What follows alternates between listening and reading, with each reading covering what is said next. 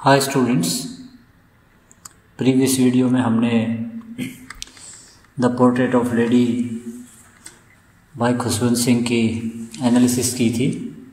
Chapter को समझने की कोशिश की थी वैल्यू पॉइंट्स को मेमोराइज करने की कोशिश की थी ताकि हम अपने एग्ज़ाम में जो क्वेश्चन आते हैं उनका एक बेटर आंसर बना सकें और मैक्सिमम मार्क्स स्कोर कर सकें। इस वीडियो में आज हम डिस्कस करेंगे उन्हीं इम्पोर्टेंट क्वेश्चंस को और मैं कोशिश करूँगा कि सीधे आपकी मेमोरी में चले जाए। तो चलिए आइए स्टार्ट करते हैं। फ़र्स्ट क्वेश्चन है describe the grandmother in your own words अपने शब्दों में ग्रैंड मदर का क्या करो? डिस्क्रिप्शन दो। अब ये जो चीज़ है, मान लो आपको, आपने चैप्टर पढ़ा नहीं, आप कुछ भी नहीं जानते, फिर भी अगर ये थ्री मार्क्स का का ये क्वेश्चन बनता है तो आप इसमें one point five marks one and half mark automatically इसमें स्कोर कर सकते हो। अगर आपको ओ थ्री ग्रैंड मदर का नहीं पता तो अपनी का तो पता है। You have to picturise your own grandmother and describe her okay the examiner is at least aware that the student knows how to write okay and he is going to award you one or one and half marks so at if if you have has common sense common understanding of things you will never fail in the examination for a language ठीक है? कभी fail नहीं हो गया आप लोग। ये guarantee है मेरी। बस आप दिमाग को ओपन रखिए। ठीक है? चलिए आंसर देख लेते हैं। द ग्रैंड मदर जो दादी थी वाज ए डीपली डीपली मतलब गहराई से रिलीजियस वूमेन बड़ी धार्मिक औरत थी। रिलीजियस क्या होता है बच्चों? धार्मिक औरत थी वो। ठीक है? धर्म कर्म करने वाली। She was also kind hearted kind का मतलब दयालु। हार्टेड का मतलब दिल। उनका दिल जो था, वो दयावान था, वो बड़ी दयालु औरत थी। She was not pretty to look at देखने में वह प्रेटी होता है, आकर्षक। क्या होता है? आकर्षक। She was not pretty to look at yet she was beautiful फिर भी वह सुंदर थी। सुंदर क्या होता है दिखना। और प्रेटी क्या होता है, जो मनमोहक होता है, आकर्षित करे आपको, ठीक है, ये डिफरेंस है। तो बूढ़ी थी तो सिंपल सी बात है प्रेटी तो नहीं होगी but she was beautiful she was graceful grace का मतलब चमक। एक जो चेहरे पे चमक होती है ग्रेस होती है। एंड डिग्निफाइड डिग्निफाइड का मतलब क्या है? एक इज्जतदार, ठीक है डिग्निटी कैरी करने वाली, इज्जतदार। इन हर बेयरिंग का मतलब बेयरिंग का मतलब जो लुक्स थे, उसके लुक्स देखने में। ठीक है? देखने में। She had perfect control over her emotions अपनी जो भावनाएँ थी उसका, उसके ऊपर बिल्कुल परफेक्ट कंट्रोल था। वो किसी को पता नहीं चलता था वो सुख में है या दुख में है। She use to feed the dogs and birds वह कुत्तों को पक्षियों को दाना खिलाती थी। ठीक है? तो ये आंसर बन गया आपका कि वो देखने में बड़ी, सुंदर थी रिलीजियस थी ठीक है डिग्निफाइड दिखती थी, दयालु थी तो इस प्रकार की बातें याद रखिए। नेक्स्ट देख लेते हैं। How were the narrator and the grandmother good friends in the village village में वो कैसे गुड फ्रेंड थे? ये हमने चैप्टर में पढ़ लिया। दोनों अकेले यही तो रहते थे घर में। ग्रैंड सन और ग्रैंड मदर वो उसको स्कूल लेके जाती थी, उसको नहलाती थी, सारी चीज़ें वही करती थी उसके लिए। फिर भी देख लेते हैं, चलिए। Grandmother woke him woke him up every morning grandmother उसे जगाती थी हर सुबह and got him ready for school और उसको स्कूल के लिए तैयार करती थी। सी वुड बेद उसको स्नान कराती थी एंड ड्रेस हिम अप और उसको स्कूल की यूनिफॉर्म पहनाती थी। सी गेव हिम ब्रेकफास्ट उसको ब्रेकफास्ट देती थी। गोट हिज स्लेट स्लेट मतलब तख्ती होती थी, एक पुराने टाइम में अगर देखोगे आप तो एक लकड़ी की काट की बनी हुई एक स्लेट टाइप होती थी, जिसको बार बार धोया जाता था और लिखा जाता था, ठीक है? इंकपोर्ट शाही की दवात एंड अकम्पनीड हिम और उसके साथ जाती थी। अकम्पनी का मतलब साथ जाना। साथ जाना। जाती थी टू स्कूल कहाँ पे? स्कूल में। वाइल लर्न एट स्कूल जब वह स्कूल में कुछ सीखता था मतलब पढ़ रहा होता था grandmother used to read the scriptures grandmother क्या करती थी? स्क्रिप्चर्स का मतलब जो पवित्र पुस्तकें हैं। क्या होता है? पवित्र पुस्तकें मतलब जो धार्मिक ग्रंथ हैं। कहाँ पे पर बैठ के पढ़ती थी? टेंपल में। When the school was over जब स्कूल का समय समाप्त हो जाता था they would walk back home ये दोनों वापस आते थे घर। टुगेदर एक साथ and feed the village dogs on the way और रास्ते में क्या करते थे? कुत्तों को दाना, सॉरी, रोटियाँ खिलाते थे। ठीक है? आ गया समझ में? मेरे हिसाब से आ गया होगा। What was the turning point in their friendship उनकी फ्रेंडशिप में टर्निंग पॉइंट क्या था? ठीक है? Their arrival in the city उनका आना अराइवल क्या होता है बच्चों? आना इन द सिटी शहर में was the turning point in the friendship of the author and the grandmother यही एक क्या था? मोड था कि, किसमें उनकी दोस्ती में। ठीक है? किसकी में? ओथर की और ग्रैंड मदर की दोस्ती में, ठीक है? She no longer accompanied him to school वह अभी उसके साथ स्कूल नहीं जाती थी। कंपनी का मीनिंग मैंने बता दिया, साथ जाना। As he used to go by bus क्योंकि वह किससे जाता था? बस से जाता था। She could not help him in studies वह उसकी सहायता नहीं कर सकती थी। किसमें उसकी स्टडीज़ में मतलब उसका होमवर्क वह नहीं करा पाती थी अब, क्योंकि school was English medium school they saw less of each other अब वे कम एक दूसरे से मिलते थे। The common link of friendship, जो इनके पीछे की एक संबंध था। फ्रेंडशिप का वाज स्नैप्ड टूट गया था। स्नैप का मतलब टूटना। टूटना, ठीक है? एंड द डिस्टेंस ग्रू और इनके बीच में जो दूरी थी, वो बढ़ गई, ठीक है? तो इस प्रकार से इनकी जो फ्रेंडशिप थी, ख़त्म हो गई शहर जाने के बाद। क्लियर चलिए नेक्स्ट देख लेते हैं। Why was the author's grandmother unhappy with the city education जो ऑथर की ग्रैंड मदर थी, वो ना खुश अनहैप्पी क्या होता है? ना खुश थी। किसके साथ? सिटी में जो एजुकेशन उसको दी जा रही थी। शहरी जो शिक्षा थी उसके बारे में वो नाखुश क्यों थी? आइए आंसर देख लेते हैं। The grandmother did not like the teaching at school जो ग्रैंड मदर थी, वह पसंद नहीं करती थी जो टीचिंग थी किसकी? इंग्लिश मीडियम स्कूल की, शहर में। सी वॉज़ सैड वह बड़ी उदास थी। सैड क्या होता बच्चों? उदास। That they did not teach anything about God क्योंकि वे स्कूल में भगवान के बारे में कुछ भी नहीं पढ़ाते थे। ठीक है? गॉड के बारे में कुछ नहीं पढ़ाते थे। एंड द रिलीजियस स्क्रिप्चर्स और जो धार्मिक पुस्तकें थी, वो भी वो नहीं पढ़ाते थे। ठीक है? Nor was the nor was interested in science उसका साइंस में भी कोई इंटरेस्ट नहीं था। She hated music lessons given in the school वह म्यूज़िक लाइसेंस को भी क्या करती थी? नफरत करती थी जो कि स्कूल में दिए जाते थे। ठीक है? नेक्स्ट देख लेते हैं। Why'd the grandmother hate music जो ग्रैंड मदर थी, वो म्यूज़िक से हेट क्यों करती थी? बड़ा सिंपल आंसर है। Grandmother considered that grandmother consider का मतलब बच्चों, सोचना, मानना। सोचना या मानना। ठीक है? Considered that music was indecent indecent का मतलब क्या होता है? असभ्य असभ्य मतलब कोई चीज़ सही नहीं होना। And was meant only for harlots और यह म्यूज़िक जो था, इसका तो मीनिंग ही केवल मतलब म्यूज़िक का जो अर्थ है, वो केवल किसके लिए था? हार्लोड्स के लिए। हार्लोड क्या होता है? वेश्या। वेश्याओं के लिए या फिर भिखारियों के लिए था। बैकर्स के लिए था। मतलब म्यूज़िक का यूज़ यही करते हैं, यही सीखते हैं गाना बजाना।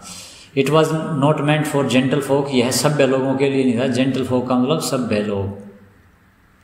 ठीक है? और school children from respectable families और जो इज्जतदार घराने हैं, जो इज्जतदार परिवार हैं, उनके स्कूल जाने वाले बच्चों के लिए इसका कोई यूज़ नहीं था। इसलिए वह हेट करती थी म्यूज़िक से। नेक्स्ट देखते हैं। Why did the grandmother stop talking before her death उसकी मौत से पहले उसने बोलना बंद क्यों कर दिया?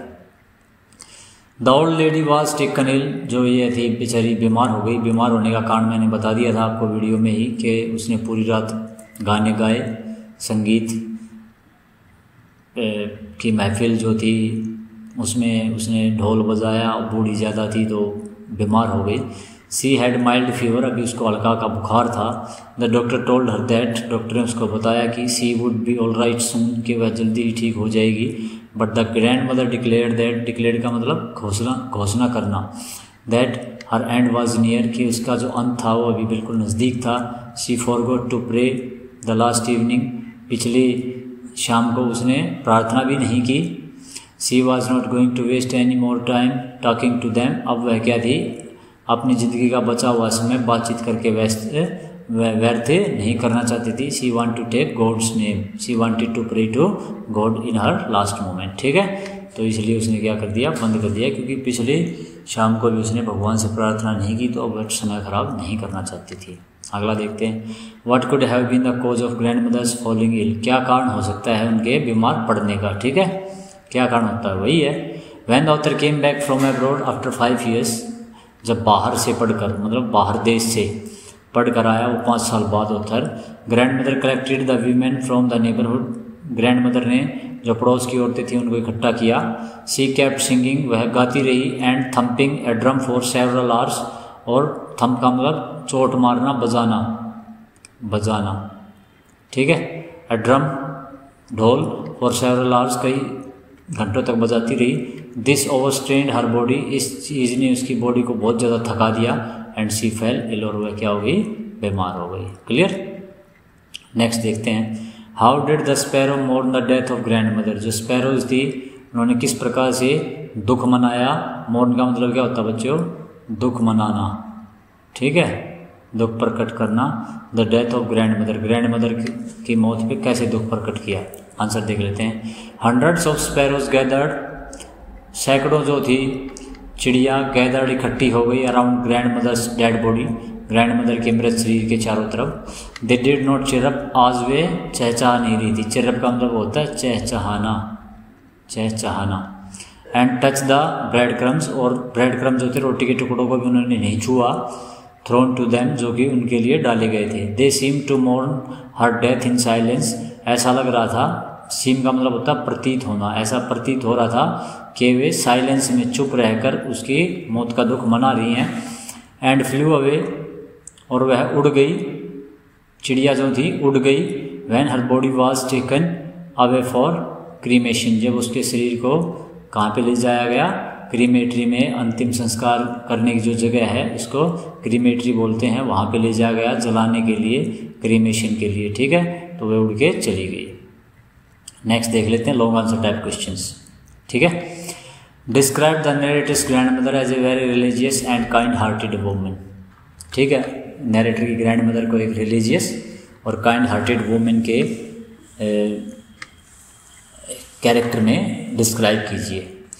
तो देख लेते हैं क्या है। The writer's grandmother was a very religious and kind hearted woman ठीक है? She is a God fearing women वह भगवान से डरने वाली औरत थी। एंड फील्स डिलाइट और डिलाइट का मतलब खुश होना। डिलाइट इन रीडिंग स्क्रिप्चर्स और उसको धार्मिक ग्रंथ पढ़ने में क्या थी? खुशी होती थी। In the temple she has the habit of reading the scripture मंदिर में बैठकर उसकी आदत थी क्या करने की? रीडिंग द स्क्रिप्चर पवित्र ग्रंथों को पढ़ने की। Till her grandson remains in the school जब तक कि उसका जो ग्रैंड सन था, उस स्कूल में रहता था। In the house she was always busy in घर में जो थी, वह हमेशा बिज़ी रहती थी। In telling the beads of her rosary अपनी जो माला थी उसके मनकों को फिराने में, ठीक है? बीड्स क्या होते हैं मन के? ठीक है? रोजरी होती है माला, ठीक है? तो अपनी माला के मन को फिरौती रहती थी, भगवान का नाम लेती रहती her lips always moved in silent prayer उसके जो होठ थे, हमेशा एक साइलेंट प्रेयर में मूव करते रहते थे। When she used to bathe her grand जब वह अपने इस पोते को नहलाती थी she would say her prayers in a sing song manner वह अपनी जो प्रार्थनाएँ थी, उनको एक गाने के रूप में प्रस्तुत करती थी। So that the author would learn them by heart ताकि ऑथर भी उनको क्या करे? बिल्कुल दिल से सीख ले, पक्का याद कर ले। सी कैप्ट ऑन प्रेइंग वह प्रार्थना करती रहती थी and telling the beads of her rosary और अपने माला के मनकों को फिराती रहती थी टिल हर लास्ट ब्रेथ कब तक फिराया उसने? जब तक कि उसकी डेथ नहीं हो गई। आपने देखा पूरा का पूरा आंसर जो है एक ही टेंस में है पास्ट इंडेफिनेट में। या पास्ट टेंस कह सकते हो पास्ट कंटिन्यूस भी हो सकता है पास्ट परफेक्ट भी हो सकता है, परंतु है पास्ट में तो आपने आंसर जो है एक ही टेंस में रखना है। She always treated her grandson with love and affection वह बड़ा प्यार और दुलार से उसने अपने पोते का पालन पोषण किया। She used to feed the village dogs वह गाँव के कुत्तों खिलाती थी। With stele chapati. स्टेल का मतलब होता है बच्चों बासी। क्या होता है? बासी जो रोटियाँ थी, उनको डालती थी। When she move to the city जब वह सिटी में गई she took delight in feeding the sparrows उसको खुशी हुई। डिलाइट का मतलब उसने खुशी महसूस की, चिड़ियाओं को भोजन खिलाकर। दे वुड पर्च पर्च का मतलब बैठना। पर्च का मतलब बैठना। ऑन हर लेग्स उसकी टांगों पर बैठते थे। शोल्डर्स कंधे पर and head but she never shooed them away परंतु वह उनको कभी दूर नहीं भगाती थी। शू का मतलब दूर भगाना दूर भगाना। Her joy knew no bounds उसकी खुशियाँ कोई ठिकाना नहीं था, जब ऐसे होता था। When her grandson return from abroad और साथ साथ उसकी खुशियाँ कोई ठिकाना नहीं था, जब उसका जो पोता था कहाँ से वापस आया? बाहर से वापस आया। She was a women of noble nature वह बहुत ही एक सभ्य प्रकृति की औरत थी काइंड दयालु एंड टेंडर हार्ट और बड़ा ही कोमल उनका हृदय था। ठीक है? आ गया होगा समझ में। ग्रैंड मदर का एक तरह से कैरेक्टर स्केच है पोर्ट्रेट है पूरा। नेक्स्ट देख लेते हैं बच्चों। The grandmother herself was not formally educated formally formally का मतलब क्या है कि वह स्कूल में कभी नहीं गई उनके पास कोई डिग्री या सर्टिफिकेट नहीं था एजुकेशन का। फॉर्मली का मतलब क्या होता है, जब हम स्कूल में जाते हैं इनरोल करते हैं अपने आप को और कोई सर्टिफिकेट लेते हैं। But was serious about author's education परंतु वो खुद ऑथर की पढ़ाई के बारे में बड़ी सीरियस थी, गंभीर थी। How does the text about this इस चैप्टर से हमें इस बात का कैसे पता चलता है? ऑल दो यद्यपि the grandmother had no proper schooling grandmother की कोई स्कूलिंग नहीं हुई थी and was not formally educated ना ही वो फॉर्मली एजुकेटेड थी but she was serious about the author's education परंतु वो क्या थी? बड़ी सीरियस थी किसके बारे में उत्तर की एजुकेशन को लेकर। द ऑथर्स पेरेंट्स ऑथर के जो पेरेंट थे had shifted to the city कहाँ चले गए थे वो? शहर में रहने के लिए चले गए थे। He live in the village with his grandmother परंतु जो उत्थर था, वो गाँव में ही रहता था किसके साथ? अपनी ग्रैंड मदर के साथ। She would wake him up in the morning देखो, वही बातें बार बार रिपीट हो रही हैं हर आंसर में, ठीक है? And get him ready for school आपने हर एक आंसर में यही लिखना है। She would accompany him to the school वह उसके साथ स्कूल जाती थी एंड बैक और वापस आती थी। When the author parents were well settled in the city जब वो ऑथर के पेरेंट वहाँ पे बिल्कुल सेटल हो गए दे कॉल्ड दैम ऑल्सो उन्होंने ग्रैंड मदर और ऑथर को भी वहीं बुला लिया।